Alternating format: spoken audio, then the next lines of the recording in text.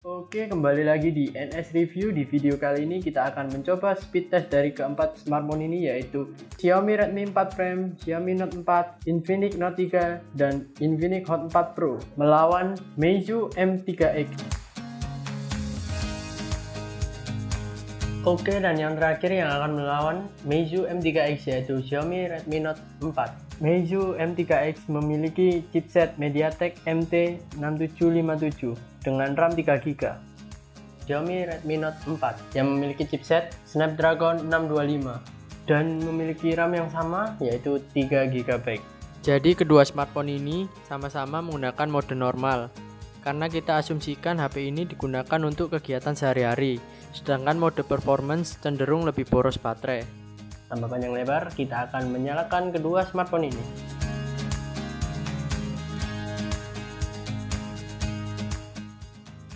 Oh, ternyata Xiaomi yang lebih dulu. Kita akan buka kuncinya. Ya, pertama kita akan membersihkan recent app dari kedua smartphone ini. Sudah, kita memasuki babak yang pertama yaitu mengetes aplikasi dari kedua smartphone ini yaitu Kakao Talk.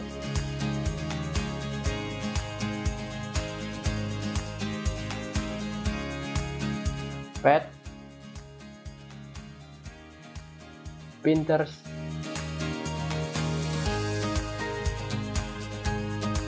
Meizu masih loading dan Xiaomi sudah menyelesaikan loadingnya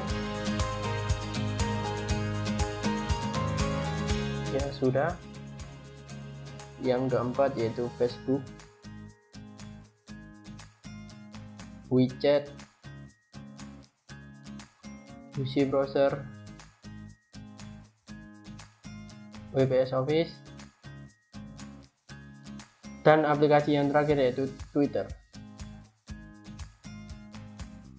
Beralih ke gamenya yang pertama yaitu Subway Surf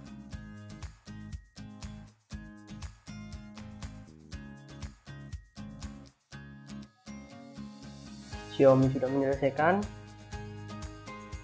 Dan game yang kedua yaitu Samurai 2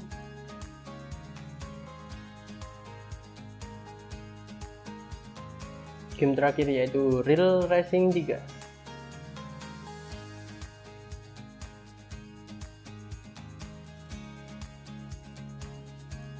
Meizu sudah memasuk game sedangkan Xiaomi masih loading ya sudah. Ya memasuki babak kedua kita akan menukar tempat dari kedua smartphone ini. Tanpa panjang lebar untuk aplikasi yang pertama yaitu Kakao Talk.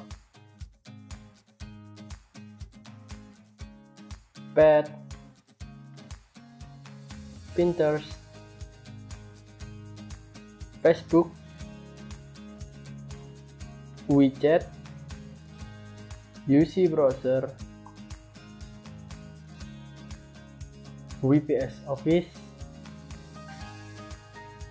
Dan aplikasi yang terakhir yaitu Twitter.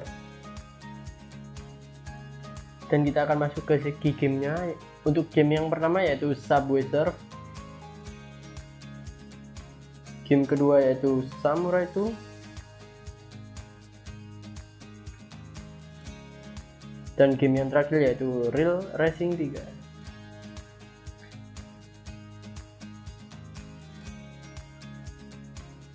dan kita akan mencoba untuk tes Antutu dari kedua smartphone ini. Berapakah hasilnya?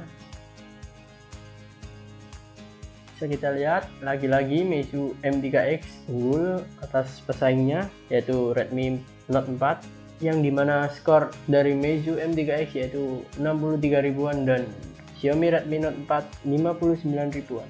Dan untuk yang terakhir yaitu kita akan mengecek sensor dari kedua smartphone ini.